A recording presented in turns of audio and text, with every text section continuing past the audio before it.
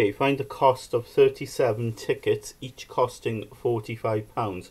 So this is a multiplying question, isn't it? Because we've got 37 lots of tickets. So 37 times the amount of the ticket. Okay. Um, now, one way to multiply, okay, is to use the box method here. Okay. Um, so what you do is you take the number 37 and of course you break it into its tens and units. Okay, so it's partitions. So you've got 30 and 7. And we do the same with 45. So that'll be 40, 4 tens, 5 units.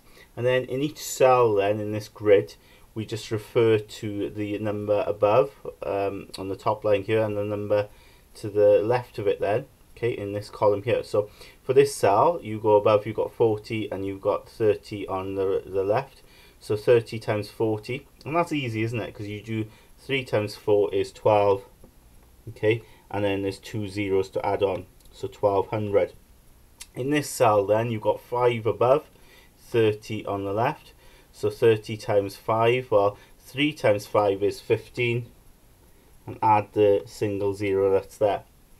In this uh, cell then you've got 40 above and 7 here so 7 times 40 well 7 times 4 is 28 and add the single zero that, that's there.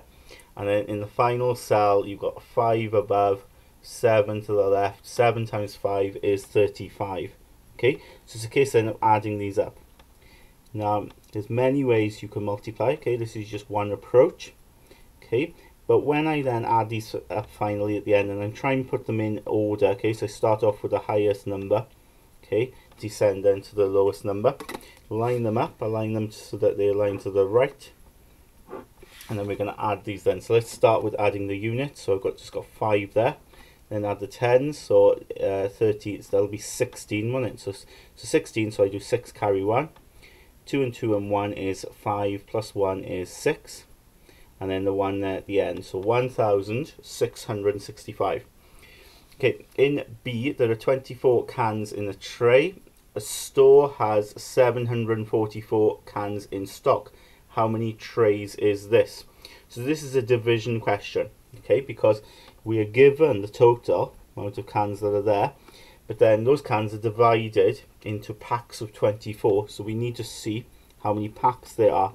So how many 24s are there in 744? So we can do this by the bus stop method, okay? So what you divide by goes on the outside, okay? Um, and then you've got seven four four here okay?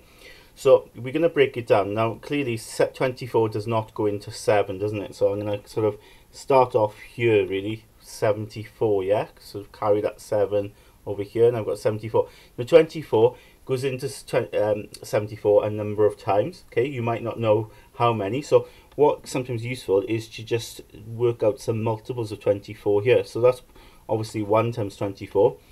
2 times 24, well, if I add another 24, I end up with 48. And then 3 times 24, well, if I add another 24, I get 72.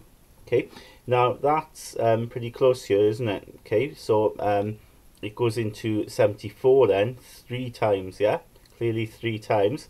But three lots of 24 is 72 so it goes into three times but there's going to be two left over isn't there here? Two left over the remainder of two so I carry that there okay?